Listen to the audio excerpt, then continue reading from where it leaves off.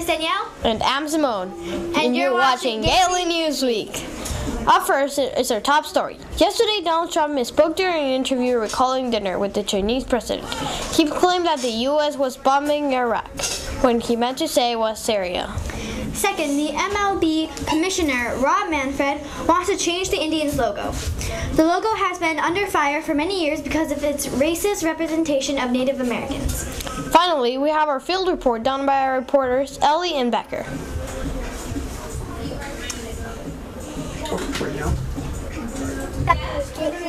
And today our guest is Thomas. Today's question is going to be, what's your favorite thing to do at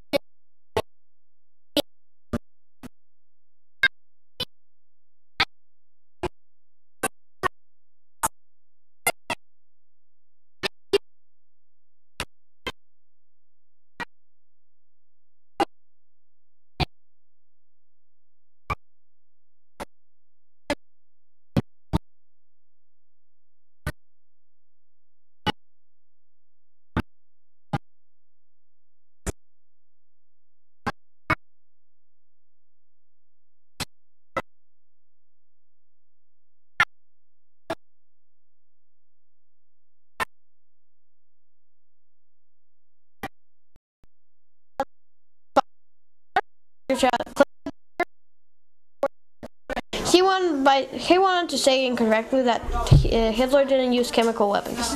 This isn't true because Hitler did actually use chemical weapons such as gas chambers. In technology, science have possibly developed a way to filter ocean water with a single sheet of graphene carbon. If this is true, the invention can prevent people from going without water. Up next, we have our art feature. Alani Winta, our artist at the Gately, who will be drawing for us today.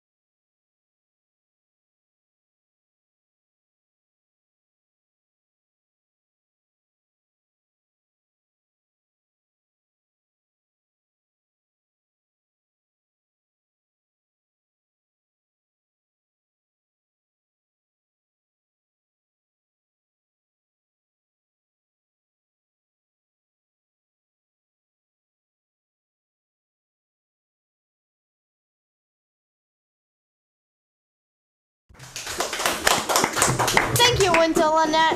Thank you, Wintel and Alani. That was beautiful. I'm Simone. And I'm Danielle. This has been Gately's Newsweek. Thank, Thank you for watching.